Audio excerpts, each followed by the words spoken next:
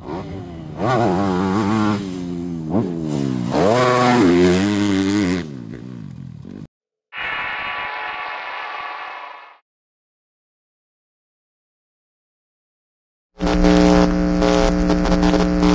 up guys, Justin Cooper out here at uh, MX Heaven for a day riding. Uh, switched to the new OGIO Rig T3 bag and uh, let's take a look what's inside.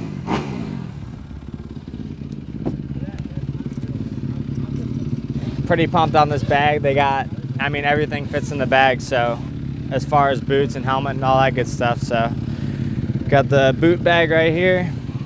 Boots are in here.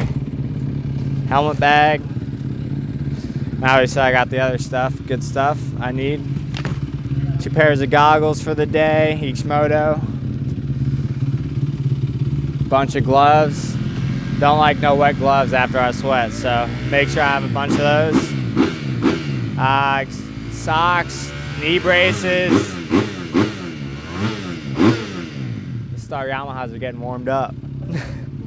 yeah, just the basic stuff, but uh, we got the, the boot bag and the new helmet bag that goes along with it, which is pretty sick. And uh, it's really ideal for traveling weekends when we go to the races. Uh, you can bring your whole set of gear, uh, under 50 pounds, up on the plane, and uh, yeah, we get get to go racing with uh, one bag instead of you know trying to hustle to get everything into a couple separate gear bags. So.